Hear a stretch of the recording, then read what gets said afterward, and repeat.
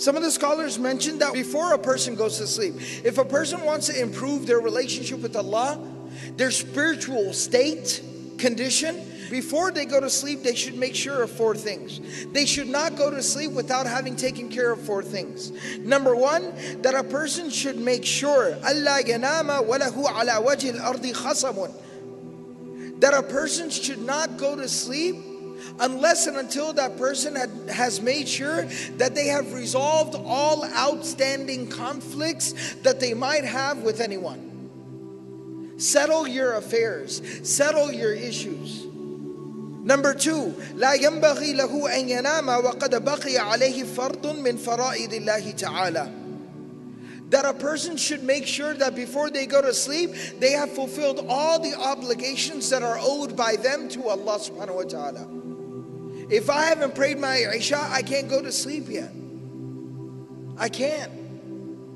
Number three, لا ينبغي له أن ينام ما لم يتب من ذنوبه التي سلفت منه.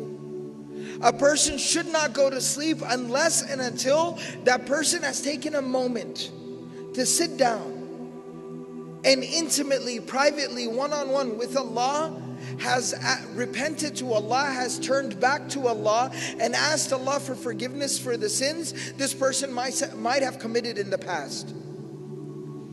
And number four, لا ينبغي له أن ينام حتى يكتب وصية صحيحة.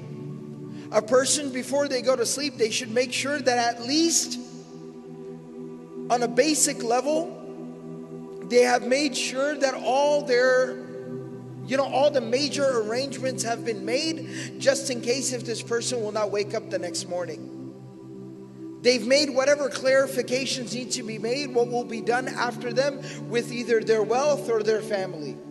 And again, that doesn't seem, you know, for a lot of us, we think that's a very morbid idea. Plan my death before I go to sleep. But this is the seriousness that is required for having a relationship with Allah subhanahu wa ta'ala.